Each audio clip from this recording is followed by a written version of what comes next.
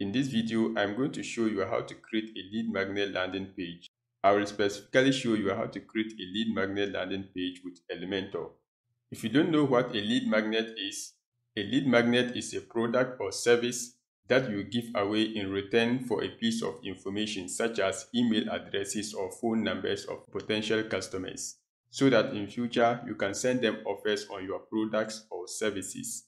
To get email addresses of your users for free, you can give them freebies like ebooks, video training, discounts, webinars, or any kind of digital products. In return, you get their emails for free in order to build your email list. In my case, I'm going to offer a template kit for free, and this is the very template kit I'm going to offer for free. So if you want to learn how to create a lead magnet landing page, keep watching. Hello guys, this is Swadik here at Dikupages Web, where I do web tutorials just like this one. So if you are new here, consider subscribing.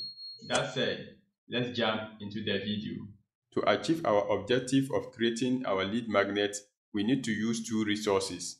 The first thing we need to do is create our page with Elementor. Next, we use an email marketing platform in order to create our form where users can enter in their emails in order to get the free service we are offering. So to get started, I'm in the dashboard of my WordPress website. The next thing I do is go over to pages and I click on add new. I exit out of here. Next, I go ahead and give my page a title. Next, I go over to template and I'm going to go ahead and choose Elementor Canvas. I click on publish, publish again, it is published, I go ahead and edit it with Elementor. Inside the Elementor editor, I go ahead and add a new section. Now choose a single column section. Next, I go over to height, and I'm going to go ahead and choose a minimum height, and I'll give it a VH of 100. Next, I go over to widgets, and I'm going to go ahead and add an inner section right here. Next, I go over to advanced, and I'm going to go ahead and unlink the values and the padding. At top, I enter 100, right 200, bottom 100, left 200. So with this, I'll have my design right in the middle of the page.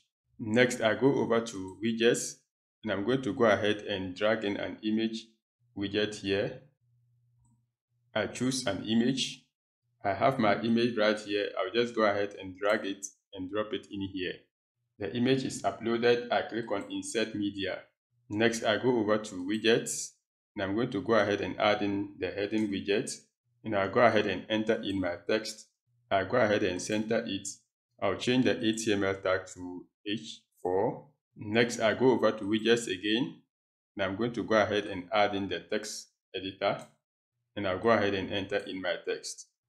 Maybe I want to change the heading back to align left. I'll go over to style and style it a bit. I click on the pencil icon under typography and I'll go ahead and increase the line height to maybe 1.5. The next thing I want to do is add some borders to my columns in here. So I select the first column, then I go over to style, I choose border, and the border type I choose solid, and you see that the border is already applied. Meanwhile, I'm going to go ahead and change the width to 1. Let's see how that will come up. Perfect. Meanwhile, I don't need a line here. So I go back, I unlink the values right here. Then right, I make it 0. Let's take a look. See that the line is gone. Going back, I will give it a color of C9, C9, C9. And I'm going to go ahead and give it a border radius. First of all, I unlink the values I'll add a border radius at top at the same time left. So top will be 10 and then left will be 10 as well. Let's take a look. Perfect. This is cool. So similarly, I do the reverse for the second column. So going back, I select the second column, then I go over to style. I go to border. I'll choose a solid border. I change the width to 1 then I go ahead and unlink the values so that I take off the line that is here. Let's take a look to see how it is. All right. So left, I just make it zero. Perfect. Now let's go ahead and change the color and also add our border radius. Going back, the color, I choose C9, C9, C9. Awesome. Next is border radius. I unlink the values. So this time around, it will be right as well as bottom. So I come to right, enter in 10, bottom 10. Let's take a look. Perfect. Going back, I go ahead and update. Now the first part of my page is done. If you are finding value so far, please give this video a thumbs up. It does help me out so that the video will be suggested to more people on YouTube and also benefit more people. Alright, let's continue. The next thing I want to do is go ahead and add in the sign up form. To do that, I head over to convertkit.com.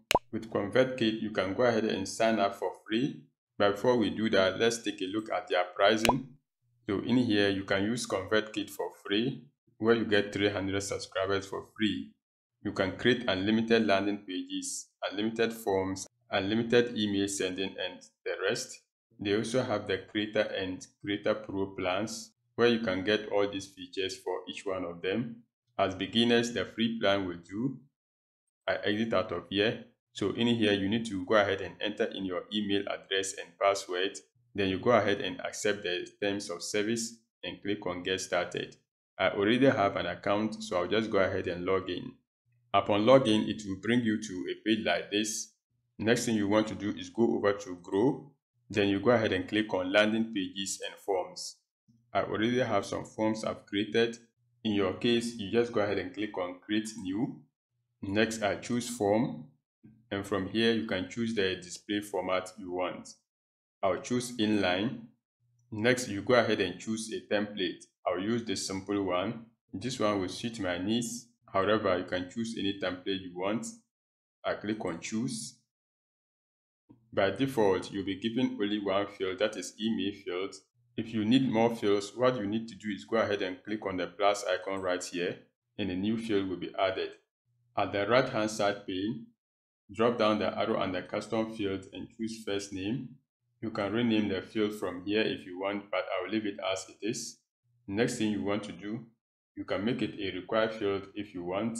I would suggest you leave it unchecked so that users will have the option not to enter in their name. The rest of the settings looks fine. However, if you want to change the font color, border color and then border radius, you can go ahead and do so. You can even go ahead and change the font weight from here, maybe bold. You see that, but keep it as normal. The next thing I want to do is go ahead and customize the button right here. So I select it and I'll go ahead and change the text. I will make it capital letters. Send me the template kit. I want to change the background color to black. And the font weight, I change it to bold. Perfect. Now you see that my form is not arranged properly. I want the first name to be first. So what I need to do is hover on these three lines right here. Then I click on it and drag it here. Awesome. Now, down here below, you see built with ConvertKit. If you are using ConvertKit for the first time, you'll be able to remove it.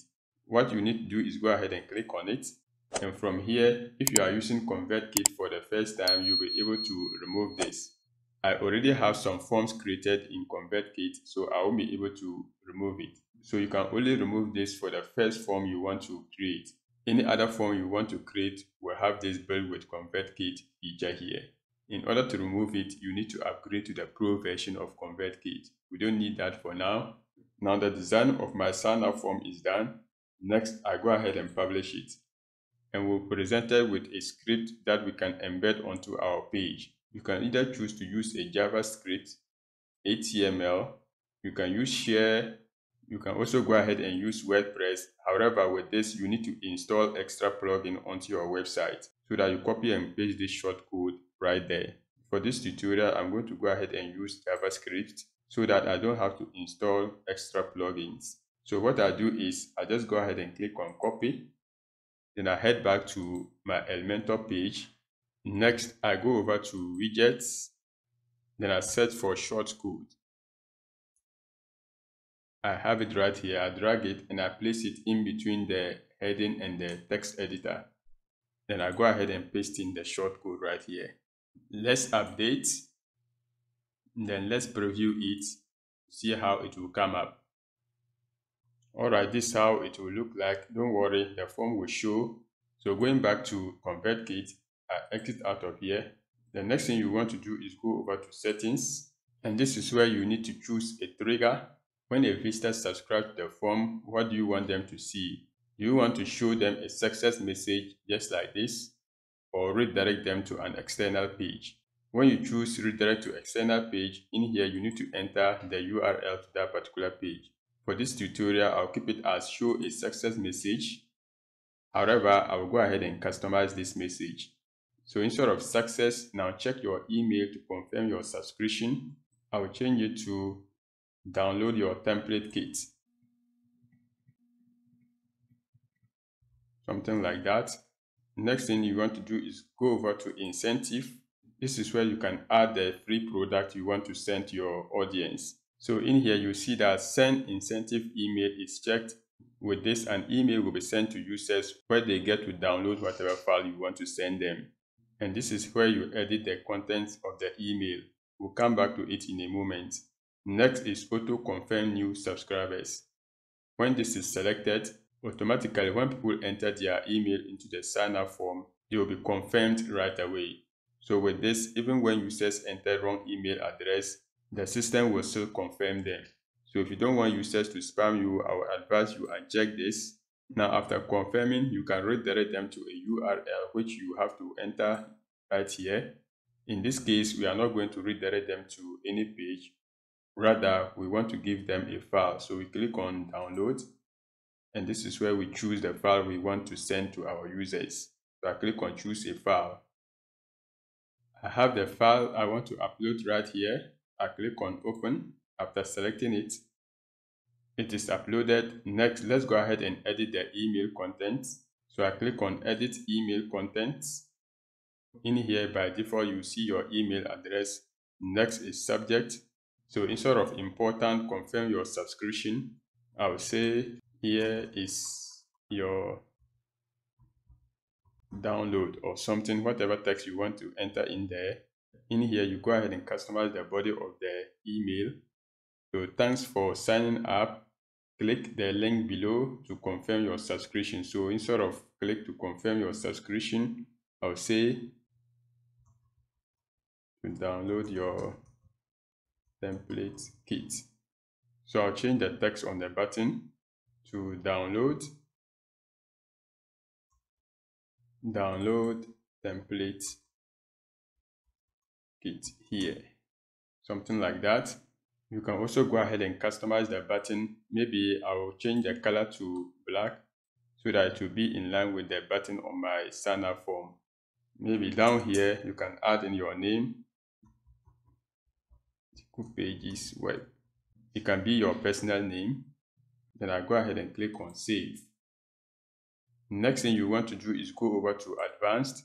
This is where you can change what is going to be shown to return visitors who have already subscribed to your form. So you can decide to continue to show the form. You can hide the form from them or you can show custom content. By default, continue to show the form is selected. You can hide it or show custom content. This is where you enter some text to tell them that they have already subscribed. I'll leave it as continue to show the form. Maybe they might want to download the template again. I can also go ahead and enable invisible reCAPTCHA. Then I click on save. When all is set, you go ahead and click on save. Perfect. Your form has been saved. It may take a few minutes to see your changes live. Let's go ahead and check it out. So I come to my page right here. Then I go ahead and refresh. Alright, it's still not here, so let's give it a moment. What we can also do is go back to Elementor, then go ahead and click on Apply right here.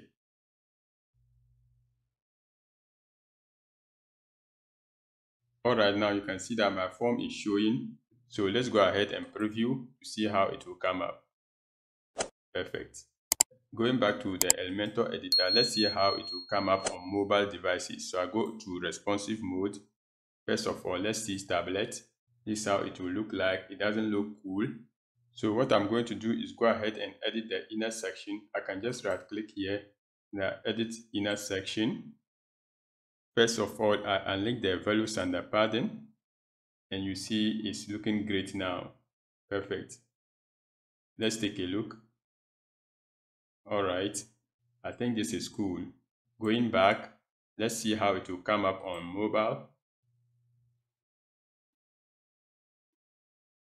And I think it's already looking great on mobile. Maybe I can center this heading right here. I go to content center and I do the same thing in here. Style center. Perfect. Let's take a look. One thing you will notice that on mobile, the border is not in good shape. So we need to add in the border here and add some border radius. Then we take off the borders at bottom and top for these two columns here. Then we go ahead and add another border here. So let's go back. First of all, I'll go ahead and select the first column. Next, I go over to border. I unlink the values under width.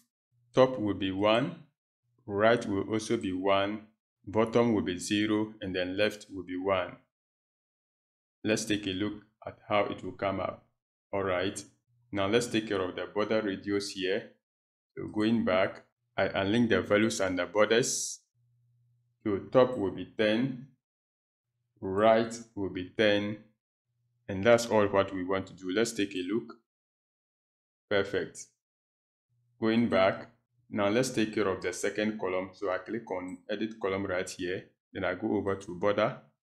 First of all, I unlink the values and the width. Top, there's not going to be a border. So I add borders for right, bottom, and left. Let's take a look at how it will come up. Perfect. So the last thing we want to do is add in some border radius at bottom. Going back, I unlink the values the border radius so bottom, I make it 10, and then left will be 10. Let's take a look. Perfect. This capture thing is covering this side, but I'm sure it is done. Let's go back and update. Let's take a look. For the last time, this looks clean.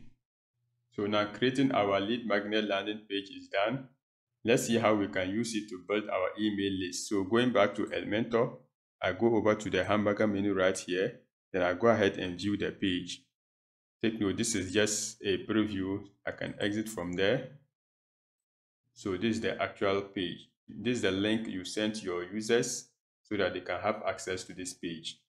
So I'll just go ahead and copy it. Then I open a new private window